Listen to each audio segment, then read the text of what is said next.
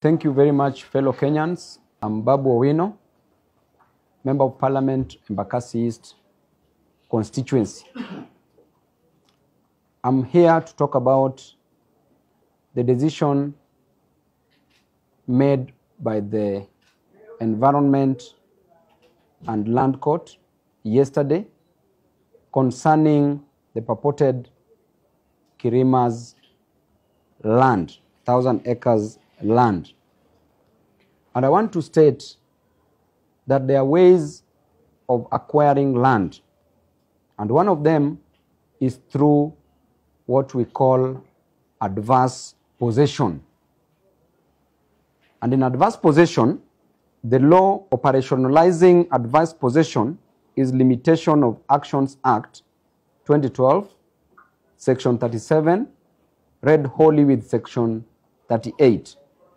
It is now judicially settled that adverse possession is a way a person can lawfully acquire ownership of land.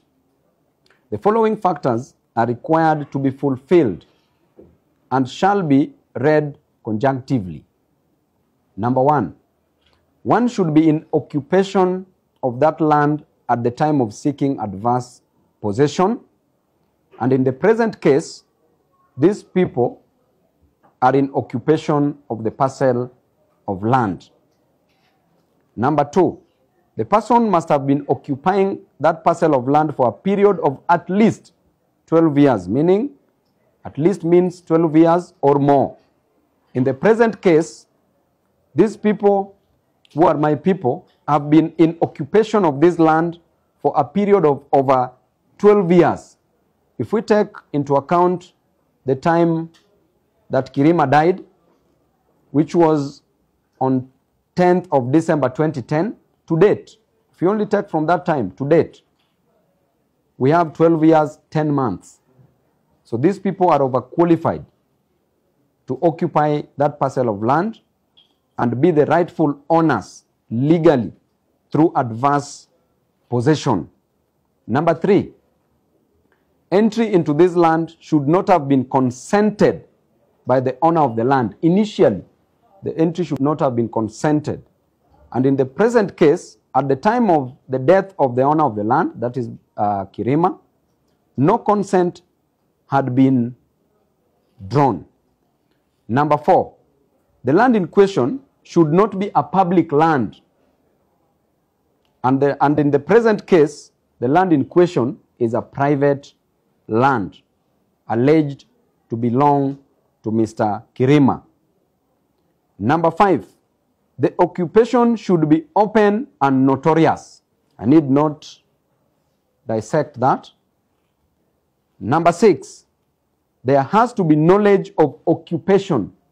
In the present case, our people, my people, have and continue to be in occupation with the knowledge of the owner.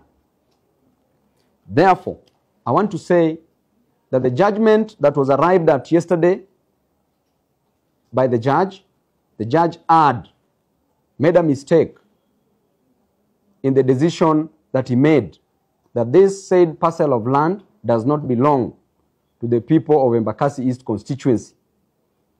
I want to say that currently we are going to pursue an appeal. We are going to appeal this decision. And because this matter is a matter of public interest, this matter must reach the Supreme Court and this parcel of land must be given to my people through adverse possession, taking into account the requirements that I've just read. Number two, we will also seek for negotiations to ensure that Kirima's family agrees to negotiate with the great people of Embakasi East constituency. Should they refuse, then through adverse possession, this a thousand acres parcel of land clearly belongs to the people of Embakasi East constituency. Next, the president has been so active with the issue of the affordable housing that he wants every Kenyan citizen to have a house. And that he's moved and practically started construction of the said houses. Why then should we encourage as a government demolition of houses as was recently experienced in Mavoko? Should this apply in Embakasi East constituency? I can assure you that should my people lose their houses because they shall have lost everything, we are going to fight back.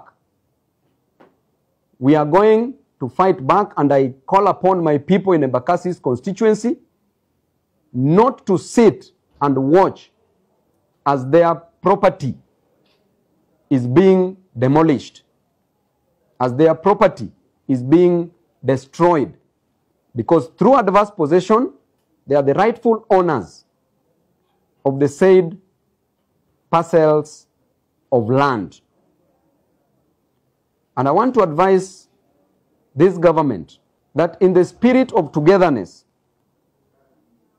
live and let live. Eat and let eat. Let my people be. We will fight for the interest of my people.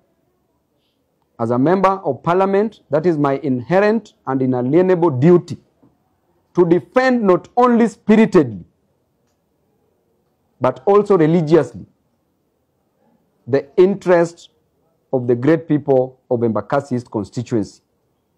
I once again call upon Kirima's family because Mr. Kirima had died many, has already died. He died many years ago. And right now, find it easy in your heart to come on the table and talk with my people, to negotiate, because they are willing to negotiate with the family. Do not be arrogant about it. He who comes to equity must come with clean hands, come with open hearts, and come ready for what my people will offer. Should you refuse, through adverse possession again, this property is ours. You, you want them to come to negotiate with you, but you already, you already set up terms.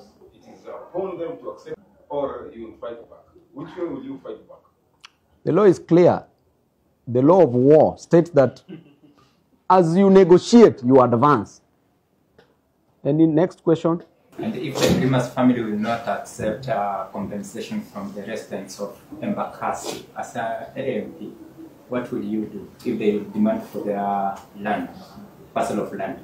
What I will do is better imagined than experienced. Next question.